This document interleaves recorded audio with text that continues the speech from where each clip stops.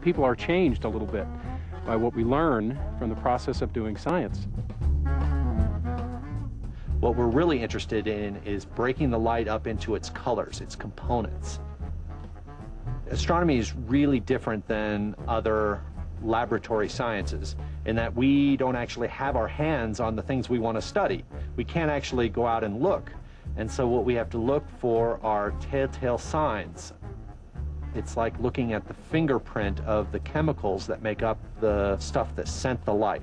So if you look at its spectrum, then you can say how fast it's moving, what it's made out of, how old it is. You get a, a huge amount of information. So that's the power of spectroscopy.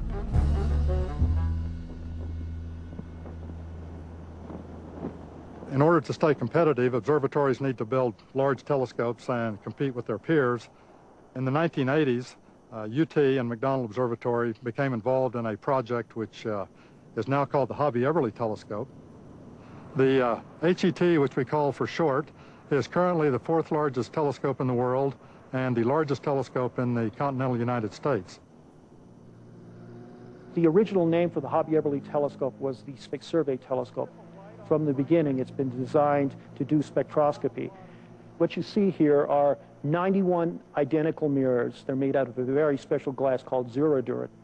All 91 have three motors on the back of each one that, uh, that very accurately positions each mirror, and then there are sensors around the periphery that accurately locate them with respect to one another. So imagine 91 people standing out in the middle of a, of a field trying to catch light from a source and direct it to one place, and that's a small problem compared to what we have here. Of the six observatories I've worked at, this is the most complicated telescope to operate. We discover planets in other solar systems. Tonight, two planet candidates being investigated, uh, the discovery of planets in solar systems that are not ours. If folks are interested in that kind of thing, this is a very interesting place to be. The Hobby Eberly telescope looks like no other telescope in the world. It doesn't have an eyepiece anywhere. It isn't even capable of holding an eyepiece anywhere. So how's the grok? Uh, looks pretty good right now. At the moment, uh, I'm sitting in the control room for the Hobby Eberly telescope, and it requires its operator to run the telescope, sort of like a pilot running an airplane. And the astronomer is more like the navigator.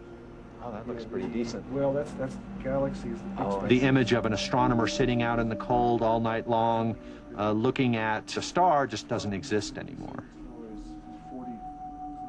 HET will be the site of our next major project at McDonald, which is to study uh, dark energy in the universe, a project we call the HET Dark Energy Experiment. What is dark energy? Well, we don't know what dark energy is, do we? And I don't think anyone uh, would say they did. It's a little bit like the Dark Ages. We don't, didn't really know very much about the history of the Dark Ages, so we called them dark. Um, it's called energy because it, it pushes back, because it is counteracting the gravity and pushing the universe apart, but really it's just a name for the phenomenon of the accelerating expansion of the universe. We have no way to observe it, and we, we know nothing about it. It may not be dark, it may not be energy, but that's the name we have for it. and and, and the, the person who named it dark energy has said most clearly it's just a placeholder for whatever's going on. And whatever dark energy is, it is going to be a fundamental shift in our understanding of the basic laws of physics. It represents over 75% of the energy in the universe now. You cannot make a model of the universe without understanding what dark energy is. It relates to where our universe came from and where it's going, and how you make galaxies, how you make stars, how you make us.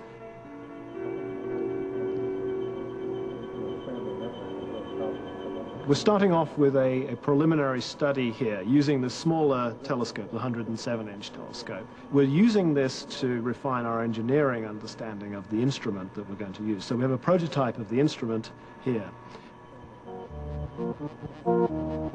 Once we understand this, uh, we will place 145 copies of this instrument onto the Hobby Eberly telescope. So it's like having 100 instruments strapped to the top of the telescope. We'll be able to study thousands of objects all at the same time. Eventually what we'll do is we'll survey a huge chunk of the sky a block of the sky and look at every object down to the faintest objects that can be observed. Our goal is to observe between 1 and 2 million galaxies. What sets us apart is the spectrograph, and that is what is helping us determine the expansion rate of the universe. So it's a spectrograph that is the key here. In a sense, the uh, evolution of dark energy might really be the holy grail in, in all of this. We're going to do one of these fundamental measurements that humankind sort of makes once. We're going to measure exactly how the universe has expanded through time with so much precision that essentially from then on it'll be the touchstone for all future theories. We have to find about a million objects, and we have about two. So it's, it's two down, 999,998 to go. There's just a whole lot of things astronomers study. You got comets, asteroids, black holes, stars, star clusters, galaxies, gas clouds in space called nebula. Yellow is the color. I think one of the characteristics astronomers have is a great curiosity about nature and about the universe and a desire to study it and learn what's out there. I've been an amateur astronomer since I was a little kid, and I still go out on good nights and with my telescopes and have fun, so it, it never gets old.